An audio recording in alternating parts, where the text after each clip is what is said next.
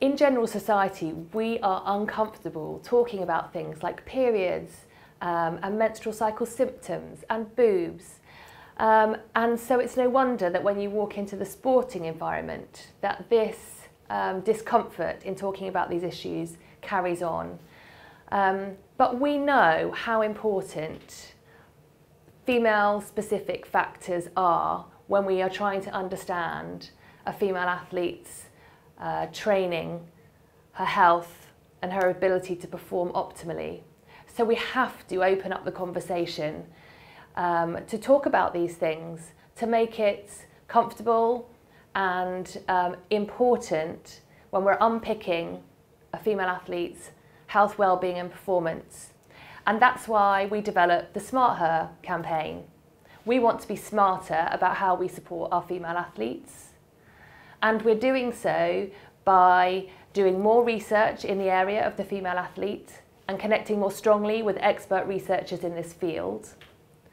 We're providing learning opportunities for the athletes and their support teams to improve their understanding of things like the menstrual cycle and how that can affect training and performance, how we can optimise breast support during sport, and how we can create environments in which female athletes can really thrive.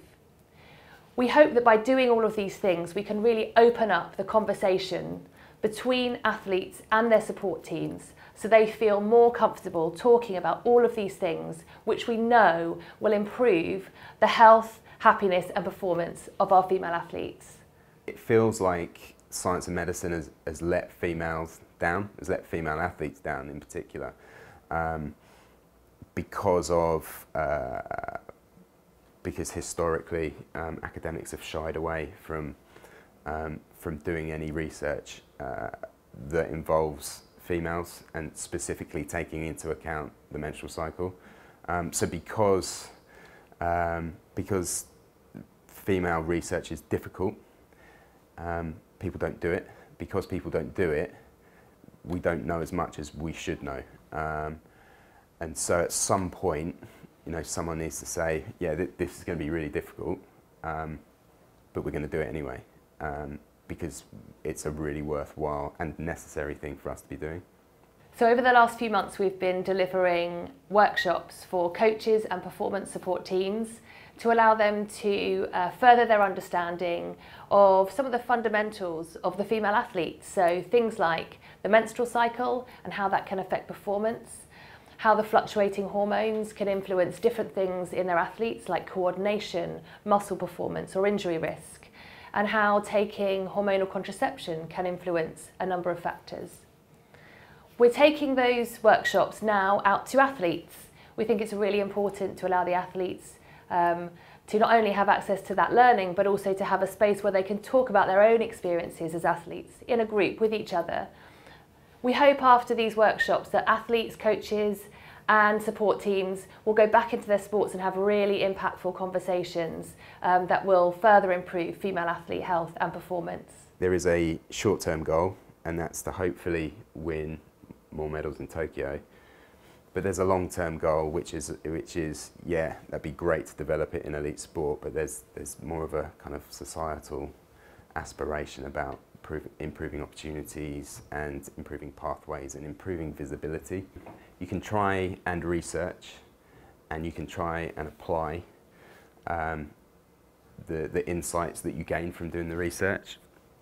But it actually starts by people being willing to talk about it. Okay, so athletes have to feel comfortable and willing to talk about menstrual cycles and periods and some of the issues that they might be having. Um, and equally coaches have to be comfortable sometimes asking those questions, but, but more importantly, hearing it and, and listening to the athletes when they, when they do start talking.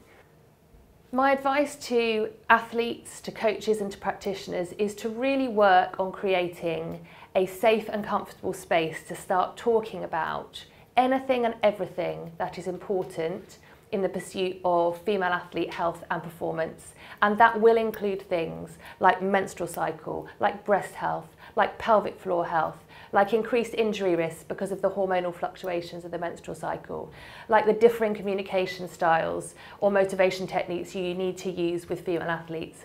I would encourage athletes, coaches and practitioners to be comfortable talking about these sort of things as they are an integral part of the jigsaw of support that we need to put around an athlete in order for her to pursue world-class performance.